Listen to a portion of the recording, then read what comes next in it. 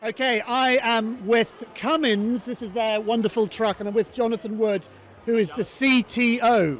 That's right. As opposed to the CEO. What does it? What does the CTO mean? Chief Technical Officer. Chief Technical Officer. So just br- briefly, for what does that mean? Yes, yeah, so I'm responsible for the entire technical function for Cummins. So all the engineers, they don't all report to me, but they're all part of my my responsibility. That so sounds the technical function for the for the company. But Cummins is massive, so that that must be Earth's most uh, terrifying job. Wait, it's pretty big. Yeah, it's pretty big. It's an, it's the I would say it's one of the best jobs in the world. Actually, you know, it's just great. You know, being involved in so many different technologies, global job, get to see loads of talent, great diversity. Of talent. Yeah. it's fantastic.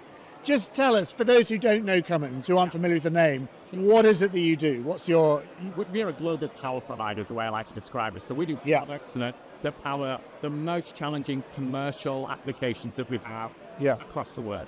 Right, so Yeah. vehicles, our generation, we're now doing batteries, fuel cells, electrolyzers. We just have this broad range of power Yeah. um, power products that we provide to And- And that's got to be a creative job. I mean, the whole world is changing. Uh, we're, we're going through this great energy transition. So thinking about how that's going to work must be. Does that keep you awake at night? I'd be, Yeah, I'd be yeah, does. crying. I'd be like, oh my goodness, Yeah, it, this going to it- it really does because you know we're in the biggest transition in our industry Yeah. for decades, it, maybe centuries. Centuries, I was going to say, yeah.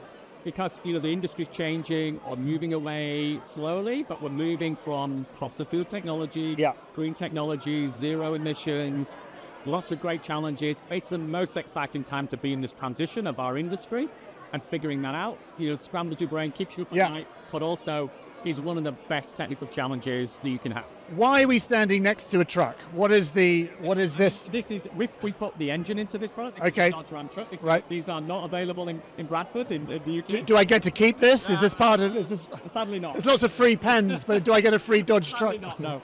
Uh, so this is this is in North America. This truck, uh, but we put the uh, we put a diesel engine in this in North America. That's part of the product we do, and and so we you know this is here because it it's just typi- typifies the type of product we Yeah. do. It's more this is this is a pickup truck, but uh, we do think for commercial vehicles, trucks, industrial, you know, excavators, you name it. We kind of do it in the commercial vehicle space. Very briefly, here we are at STEMfest. Why is this something that's important to you? Like, what's what's your reasons for being here? This is kind of the heart of what I of of what I do. I'm responsible to to the board, to Cummins, for the talent we bring in, for the technical function. If we're going to be innovative, we're going to be creative, we're going to be building those products of the future. We need fantastic minds, Yes. skills, and and it starts young. We've got to bring them in young. So it's basically a recruitment drive. This is your You know this yeah. Keep it quiet, but yes, Yeah, yeah. it is a recruitment drive, and we hope some of the kids Yeah. are here will join us in our site in Huddersfield or anywhere around the world and be part of Cummins at some point in the future. Uh, thank you very much for being here. Have a great day. I hope you get lots of um, recruits, people, uh, people signing up to, to, to join you. And it's uh, and thank you for your sponsorship as well. Thank you very much. Thank you. Dallas. Thank you. Thank you.